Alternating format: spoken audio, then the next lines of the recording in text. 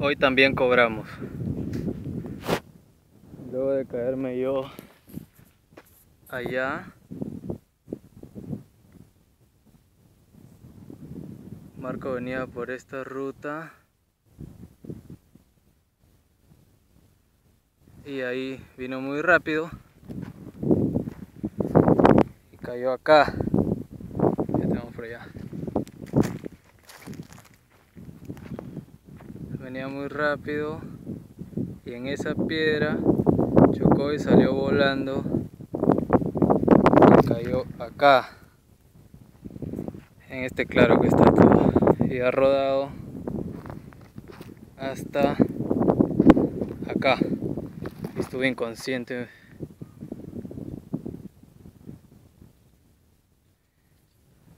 Bueno ya, ya fueron a traer el carro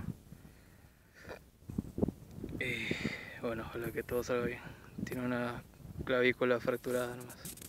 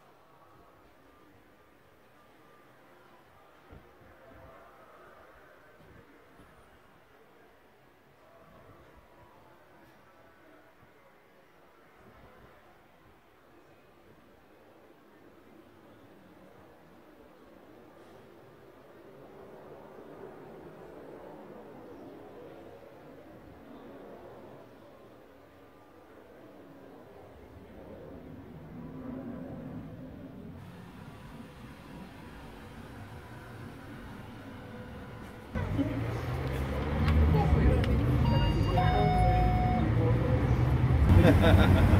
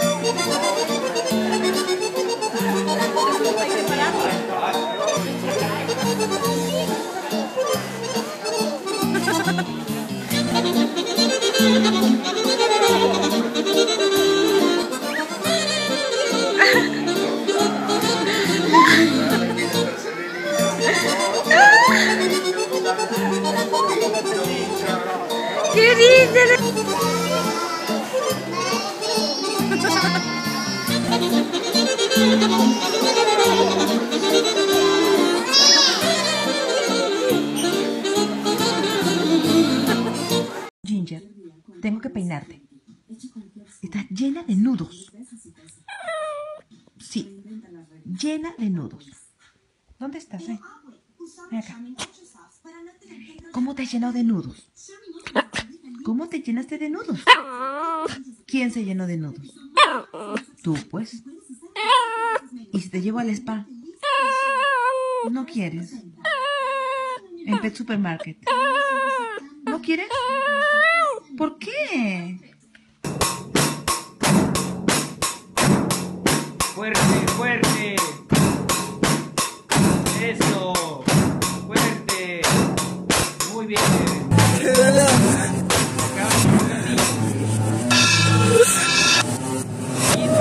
Oh, my God.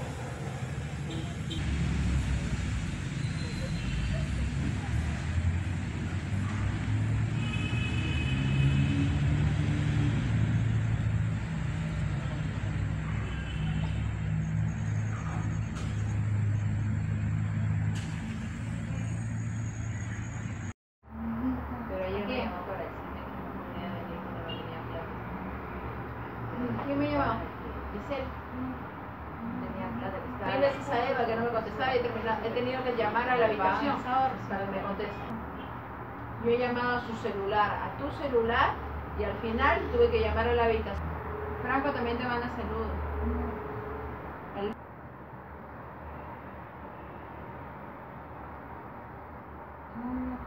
Ah, dice que yo que odio hacer cola, que dije que no iba a venir, me vienen a invitar. Con entrada ya comprada no podía decir que no.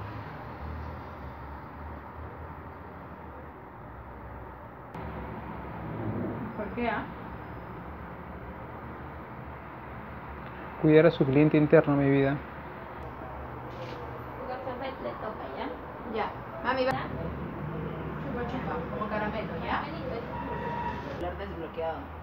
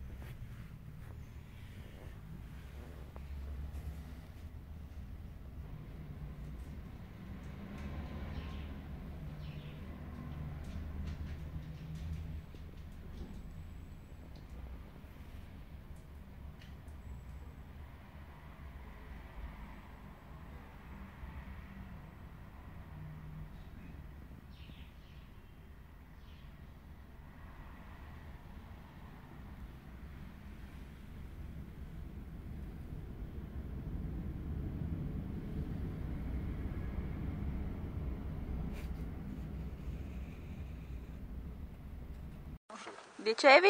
Dicevo che Fiorella è Miss Tecnologia 2011, 12, 13, eccetera, eccetera, fino all'infinito anche oltre. Mio papà ha avuto un dubbio sul suo telefonino di un simbolino in alto, vedi questo simbolino che c'è qua? Ok, Papà non sapeva cos'era, come ci è arrivato, di qua e di là.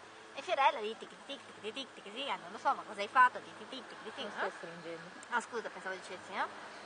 E io invece so cos'è, perché anch'io lo uso. Che È cos'è? quello per bloccare le immagini, così non ruotano. Ah, io non se lo sapevo, guarda. Vedi? L'ha messo. Vedi, fai così. Dov'è? No, scusa. Giorgio, saluta. Ciao mamma. Ciao Marco. Ce l'hai la tua. Quando ti stufi, che Sì. ne hai fin sopra i capelli perché va presa a piccole dosi, poi Non rimandarla in Italia, non rimandarla in Italia. Quanta pazienza. Noi il nostro l'abbiamo fatto, eh. Vedi? Sì. Fai così Sì. e poi ce l'hai qua. Ah, ecco. Sai perché allora? Perché uso, ho usato il flash. E allora per quello. Eh, Così ti girano. Adesso mi gira. Ti gira. Adesso, ecco, adesso mi girano proprio. Sì, sì, mi girano. Vedi?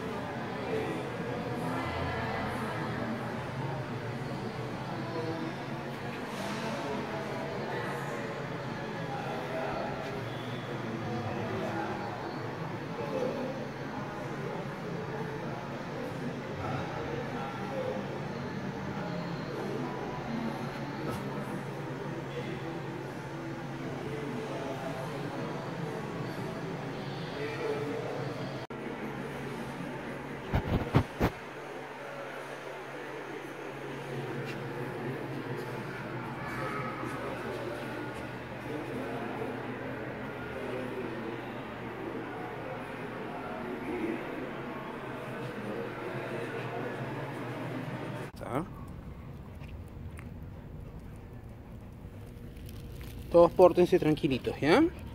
Ya, ratoncito. Anda, descansa, ¿ya? Perdónanos.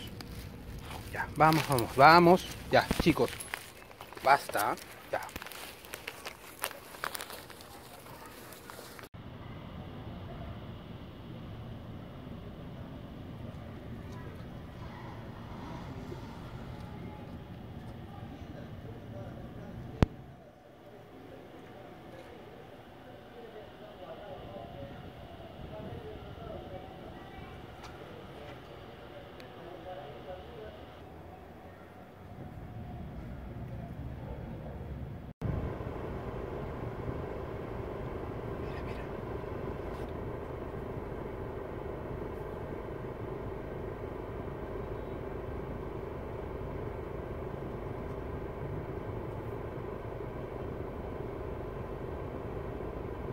Tengo Facebook, pero no lo utilizo, la verdad. Instagram. No, nunca instalé Instagram. Yo tampoco. Vas a salir en mi película, jajaja.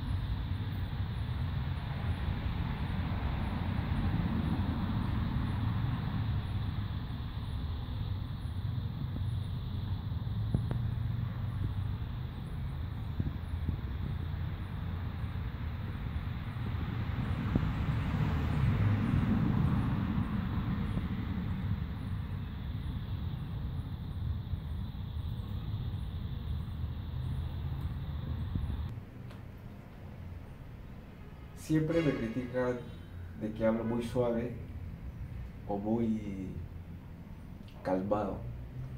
Siempre parezco que estoy en paz y relajado, muy tranquilo. Pero el día que se me ocurrió hablar un poco fuerte, esto se transformó en una pesadilla. Ahora, gritar no es un delito.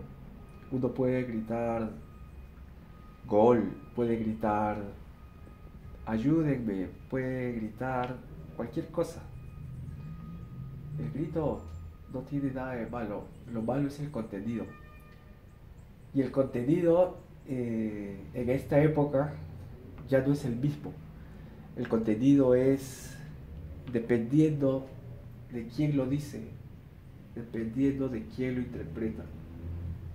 Yo para venir aquí subí al tren y escuché la voz en off que decía, en caso de acoso, toque el timbre. Ahora, ¿qué cosa es acoso? qué cosa es delito,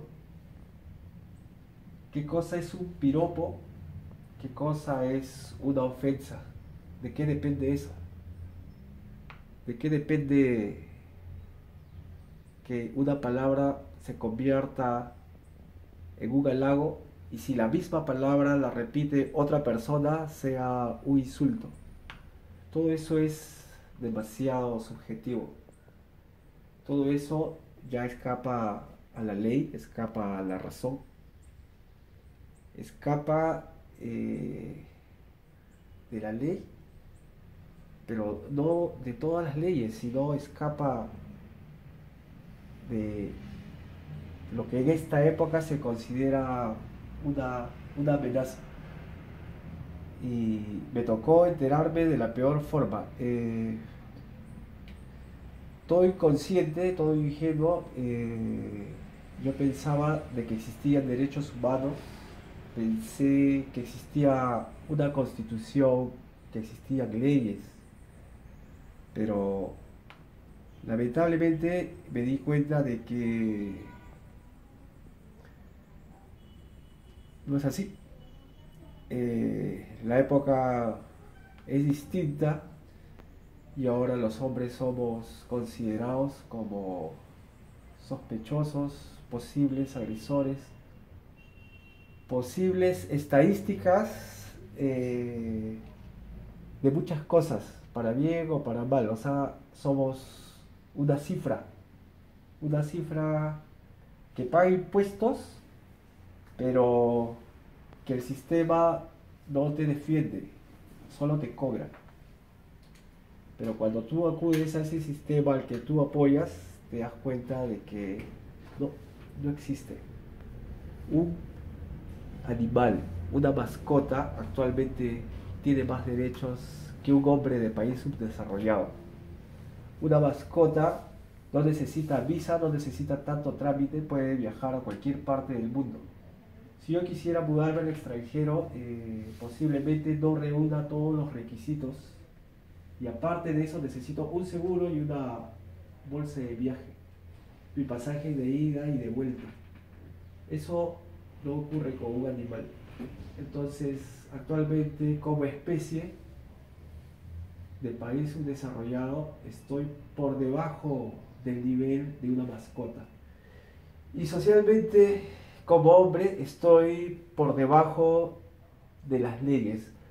No estoy por debajo de mis semejantes, sino debajo de las leyes que han sido manipuladas por el populismo, leyes que han sido alteradas creando vacíos legales, leyes totalmente anticonstitucionales, creadas de muchas formas que no me compete describir, porque si las digo, eh, nadie me creería. ¿Por qué no me creerían? Porque estamos en un momento totalmente subjetivo. Y volviendo al tema de cómo meter esto, eh, fue muy rápido. Una chica le rompe la cabeza a hijo y su padre dice, no te preocupes, yo voy a subir los gastos. Luego de eso, eh, no vuelvo a ver a la chica nunca más. Y aparece una acusación contra mí de que la chica está muerta. La chica está muerta y esa muerta me está demandando y pide garantías de que yo no me acerque a esa persona muerta. Y esa persona muerta tiene muchos derechos de muerta. Ahora, el detalle es de que en realidad no está muerta, sigue viva. Pero como las leyes aceptan cualquier demanda, sí figura como muerta. Y yo soy el que le he matado. Ahora, no interesa que esté viva. a la justicia, a la ley, no le importa. En la demanda dice, está muerta. Y no puedo acercarme a ella. Es, eh, es irracional, pero lo tengo escrito en papel, sellado, aprobado por una persona que ha estudiado una carrera, que ha postulado a un cargo y que admite, digamos, algo totalmente irracional. ¿Cómo puede ser una persona muerta eh, y viva al mismo tiempo? Esto ya este, esto escapa a la física teórica, esto es la irracionalidad eh, hiperrealista. Esto es eh, algo que no, no encaja ni en surrealismo, es algo multirealismo. Multirealismo de acuerdo, de acuerdo a la conveniencia de quien lo dice. Y como especie, vuelvo a decir, ya no tengo los derechos. Como humano ya no los tengo. Los tiene más una mascota y los tiene una persona que está viva pero que se declara muerta. Es absurdo. eh, claro que es absurdo y nadie me va a creer esto, pero la ley lo acepta. Y hay que respetar y cumplir las leyes. Y yo lo voy a hacer. Ahora, lo primero que se desbarata es que la persona no, no está muerta. Está, está viva. Nunca sufrió una agresión, nunca sufrió un insulto. Pero eh, me demanda porque la quise matar. Cosa que nunca ocurrió. Cosa que, que es totalmente falso y al final no me va a pasar nada. Pero para demostrar de que esa persona está viva, que no la maté, para demostrar que no le hice nada, tengo que invertir dinero, gastar tiempo, tengo que perder energías mentales, energías físicas, tengo que perder la tranquilidad de personas que no me conocen, personas que se sorprenden de esto y que dicen que esto puede ocurrirme a mí o puede ocurrir a cualquiera, porque es legal, es legal, digamos, es legal inventar lo que sea. Una demanda acepta lo que sea, sin pruebas. ¿Ya? Entonces, hasta aquí es, digamos, la primera parte de toda esta realidad más absurda que la ficción. Soñé con las leyes kármicas que me liberaban. Pero ese es el final que, que todavía que todavía está pendiente. Para llegar a eso es un trámite es un trámite pues este que sí da miedo, eh, angustia, pero hay, hay algo de conciencia que me dice que estoy por encima de eso y que yo no voy a pisar la trampa que me pone el sistema de responder igual de que si me atacan yo tengo que atacar como me lo enseñó el sistema. No porque sería parte parte del problema del que yo me estoy quejando. Entonces tengo que romper ese eslabón entre trauma, venganza, eh, temor, delirio de justicia. Tengo que librarme de todo eso. Eh, la conciencia está más allá de lo que diga la sociedad. La conciencia no le pertenece a la cultura. La conciencia no le pertenece a la ley porque la ley es relativa. Me mudo, cambio de ciudad, de país, me someto a otras leyes. Cada gobierno cambia las leyes. Cada época tiene su propia ley. Entonces, ¿para qué, para qué molestar a mi conciencia con eso? eh, mi conciencia sigue intacta. Lo que sí incomoda es la pérdida de tiempo y dinero para demostrar que no existe un absurdo. Y como el sistema es absurdo, yo no puedo repetir eso. Tengo que librarme, librarme del sistema. Ahora, ¿cómo se protege el sistema? El sistema se protege creando confusión, creando conflictos, conflictos personales, conflictos de familia, conflictos de ciudad, de país, conflictos por estilos, por gustos musicales, conflictos por gustos deportivos. Todo es competencia. No se educa para, para ser solidario, se educa para competir, se educa para vengarse y se, se educa para tener miedo. Si la persona se libra del miedo, se acabó el negocio. Si algo es prohibido, genera adicción. Si eso se legaliza, se pierde, se pierde esa adicción. Si mañana legaliza una droga, eh, pierde interés. Si mañana prohíben la leche, la leche se volvería adictiva. Ahora la pregunta es, ¿existe leche? No, no existe. Lo que venden no se sabe qué es. Dice leche, pero no es leche. Dice zapato de cuero sintético, pero no existe el cuero sintético, existe el plástico. Pero le dicen cuero. Entonces, igual, se dice que es ley, pero no es ley, pues. Es un acuerdo temporal, es un acuerdo pasajero.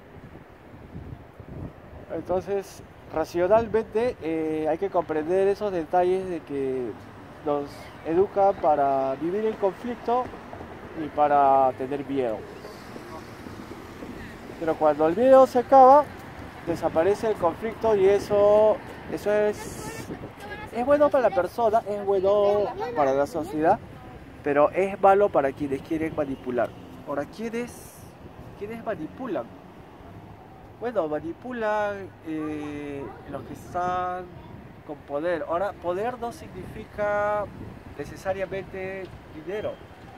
El poder lo puede tener la influencia, la influencia temporal que te otorga la ley.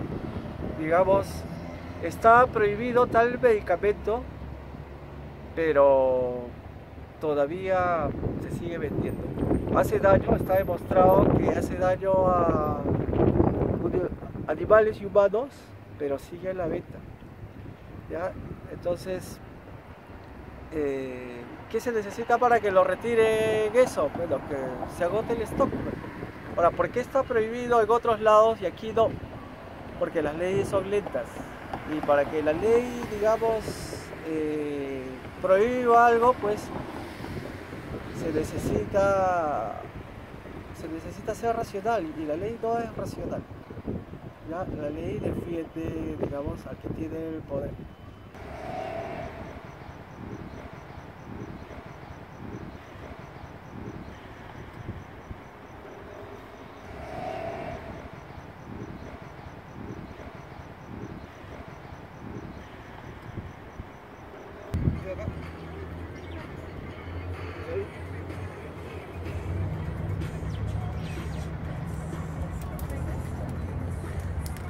Con el green. Que para los otros inglés significa ver.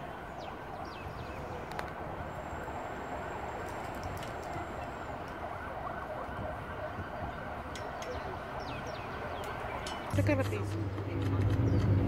Para que veas pues, la foto. Me encanta con los lentes.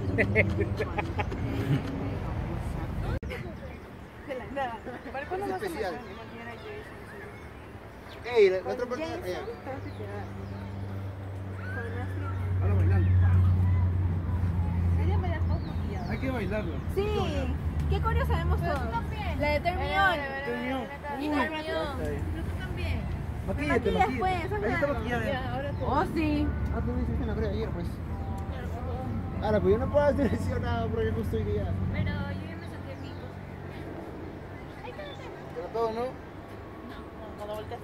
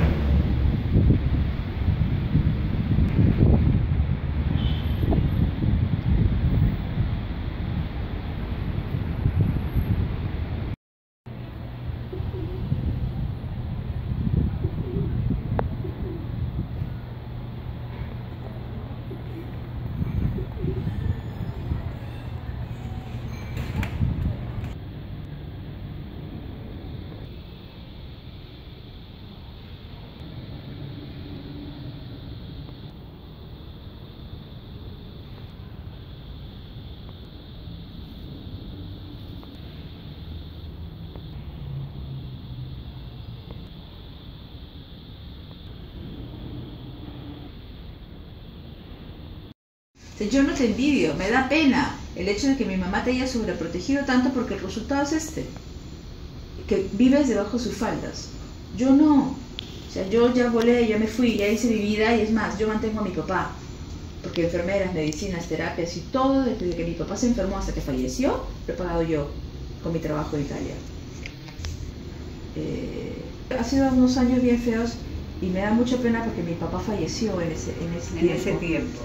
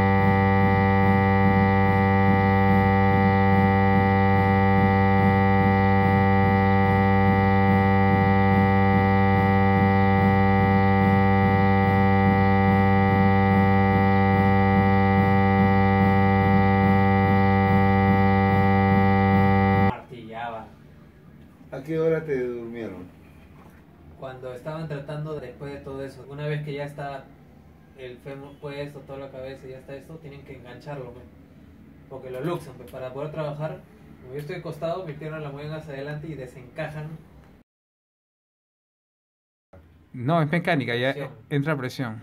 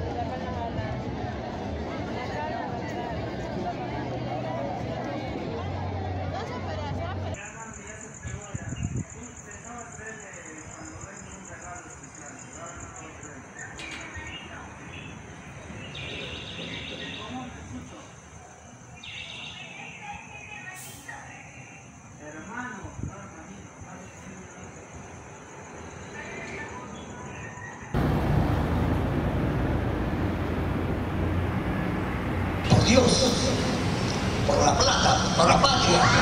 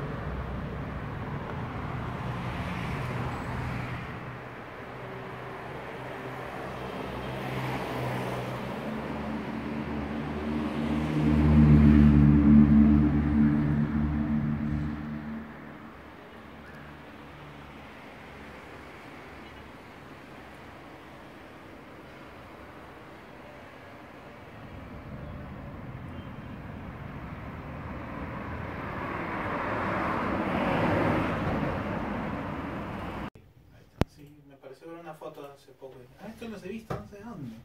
Se lo comió mi viejo hace tiempo.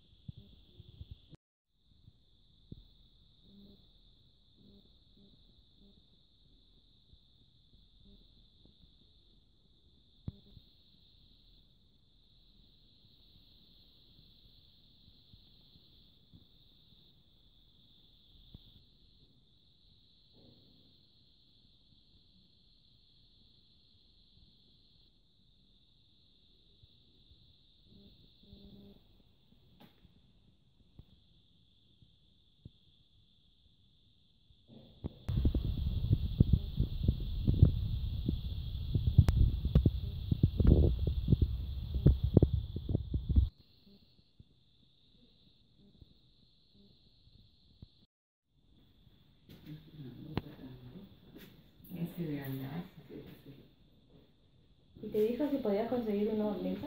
No, dice que, a ella uno se lo regalaron los obispos y la otra, que ha de ser esta, me supongo, lo, lo tuvo que ir a recoger en una lancha en un lago.